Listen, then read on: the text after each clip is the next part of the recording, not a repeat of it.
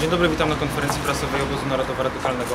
E, Spotykamy się, aby odnieść się do e, wniosku do prokuratora, generalnego pana Zbigniewa Ziobry, jaki e, wniosek złożył, złożyło czterech posłów Platformy Obywatelskiej. Po pierwsze chcemy zaakcentować to, że już któryś raz z rzędu elity trzeciej RP próbują ograniczyć prawo, czy właściwie e, zakazać, zakazać dostępu legalnej działalności środowiskom narodowym w przestrzeni publicznej. Wcześniej miało to miejsce przez e, Sojusz Lewicy Demokratycznej, gdy składali wniosek do prokuratury o delegalizację Młodzieży Wszechpolskiej e, kilka dobrych lat temu. Dzisiaj mamy taki wniosek ze strony Platformy Obywatelskiej, e, opcji liberalnej, e, która chce nam zakazać po prostu działalności w przestrzeni publicznej, a trzeba podkreślić, że ONR jest organizacją e, legalną i w granicach prawa, w granicach prawa działa, działającą. E, Druga sprawa jest e, taka, że sam wniosek jest, e, no cóż, trzeba to powiedzieć, partactwem e, prawniczym, bo czytając, zagłębiając się w ten wniosek, e, widzimy, że widzimy przykłady, które są albo nietrafne, mijają się z prawdą, bądź są po prostu po, powoływane jakby przykłady, które mają świadczyć o tym, że łamiemy artykuł 256 kodeksu karnego czy 257, e, są powoływa- powoływaniem się zupełnie na inne stowarzyszenia czy na e, wydarzenia, których nie byliśmy organizatorami. Z tego względu uważamy, że po prostu ten wniosek jest e, partactwem e, prawniczym i prokuratura generalna, prokurator generalny wcale się tą e, sprawą e, z tego też względu nie zajmie. E, Tu przekazuję jeszcze głos koledze Robertowi Bąkiewiczowi e, ze Stowarzyszenia Marsz Niepodległości. No, my chcieliśmy jeszcze zwrócić uwagę na to, e, na hipokryzję Platformy Obywatelskiej i, i w jaki sposób podchodzi do tego, do tego wniosku i czym ona się zasłużyła, czym ona się zasłużyła dla Polski. No, trzeba zwrócić uwagę na te wszystkie, wszystkie sprawy związane z, e, z, ze sprawą na przykład e, e, ostatnich problemów z gruntami, z nieruchomościami w Warszawie.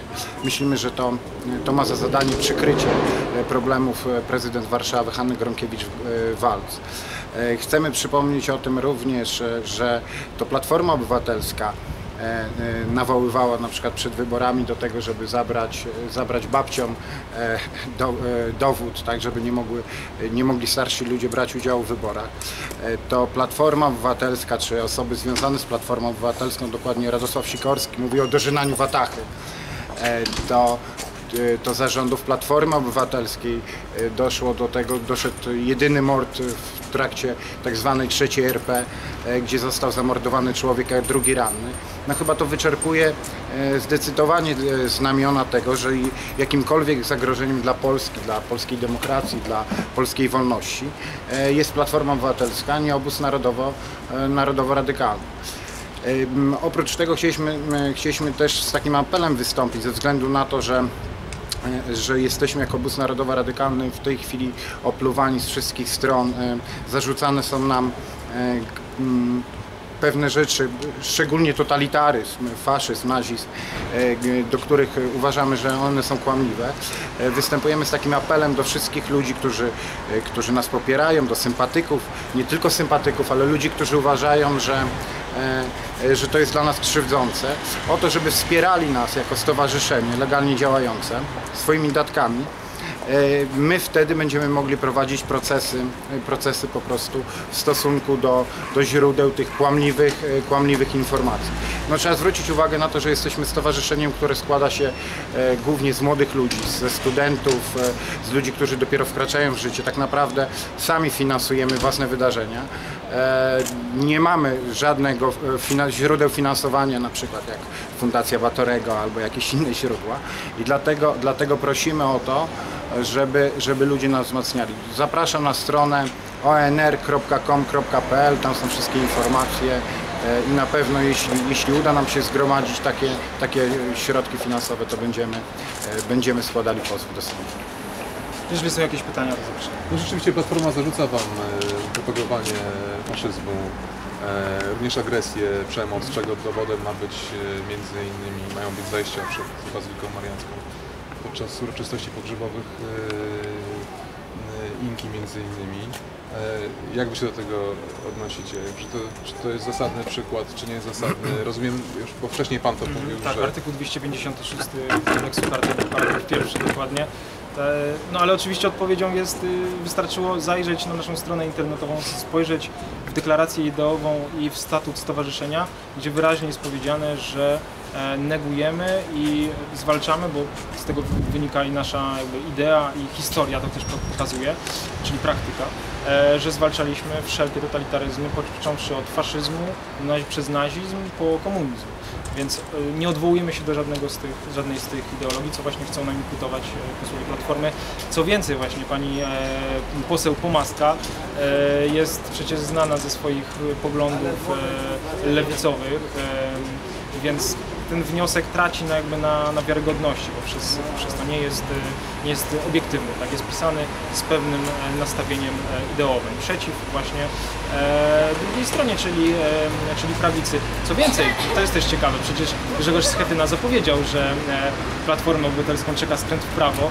No chyba to nie jest e, jakby odpowiedź na ten apel, raczej próba delegalizacji prawicowej organizacji przez chcącą aspirować do prawicowej partii politycznej Platformy, no może jakaś fronda w Platformie Obywatelskiej. Posługujecie się przemocą, to też jest argument, który pada w tych oskarżeniach e, i motywacji do złożenia wniosku do legalizacji. Mhm.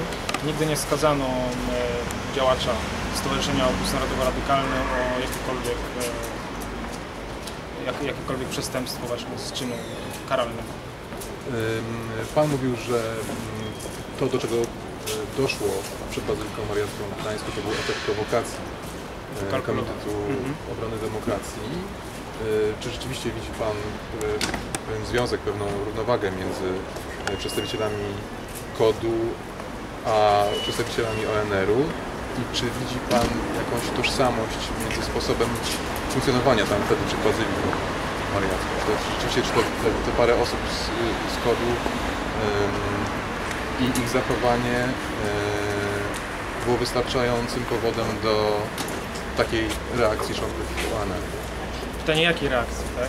Bo e, jakby No, efektem, efektem tej reakcji, rozumiem, był, był bandaż e, pana Szymełdy, który, z którym przyszedł na, e, na uroczystości. E, Trzeba podkreślić to, że przez godzinę czasu, gdy trwała msza święta, członkowie organizacji Komitet Obrony Demokracji brali udział obok e, organizacji Młodzież Wszechpolska i Obóz Narodowo-Radykalny w mszy świętej. Dopiero zaczęła się, e, konflikt się zaczął e, po tym, jak pan Szymełda i pan Kijowski przyszli i zaczęli e, wznosić obel- obelżywe hasła w stosunku do e, e, zmarłych Zagończyka, e, przede wszystkim Zagończyka. Po prostu akcentując, e, mówiąc o tym, że miał czarne karty w swoim życiorysie i nazywając go faszystą.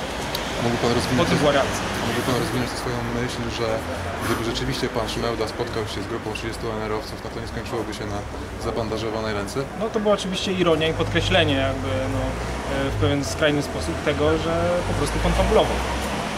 Myślę, że to wystarczy. Rozumiem. No dobrze, czyli e, teraz zapytam o Wasze przewidywania co do no, możliwości zrealizowania tego wniosku. Czy według e, Pana e, minister sprawiedliwości, prokurator generalny przychyli się do tego wniosku, czy e, rozpatrzy go w jakiś sposób ewentualnie? Można domniemywać, że wniosek został specjalnie też tak skonstruowany właśnie po to, żeby e, prokuratura się nim nie zajęła, ponieważ jest źle skonstruowany, nie ma podstaw prawnych do delegalizacji, po to, żeby mieć argument w ręce, że Prawo i Sprawiedliwość nie delegalizuje tak zwanych oczywiście e, faszystowskich organizacji. Po to, by mieć argument, zbić e, oczywiście, bić polityczną pianę, wszystko po to, żeby gdzieś zatarła się ta afera gruntowa, którą naszym zdaniem jest jedną z największych afer III RP. Okej. Nie wiem, Zdaje się, że Jeszcze czy zadajemy pytania? To dziękujemy bardzo.